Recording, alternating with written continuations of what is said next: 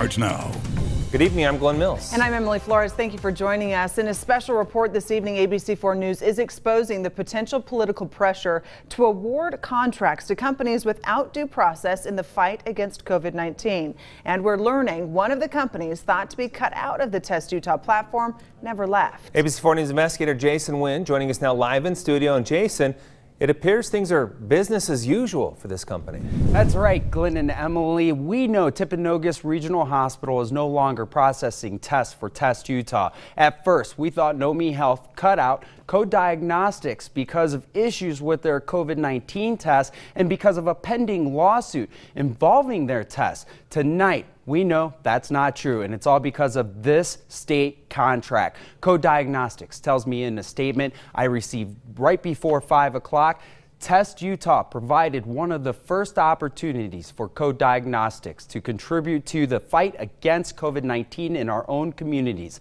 Since that time, Co-Diagnostics has partnership in our partnered or participated, I should say, in deployments in several states in addition to Utah and serves multiple laboratories around the country.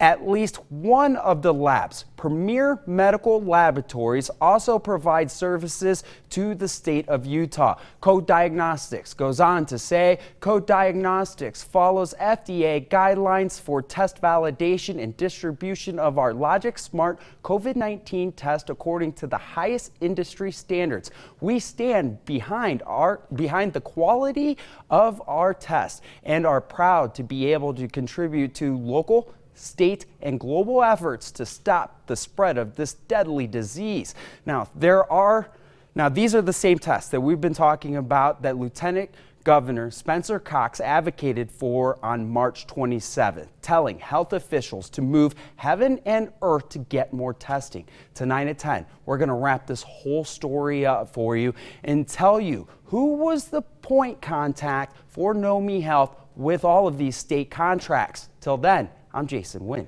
ABC4 News.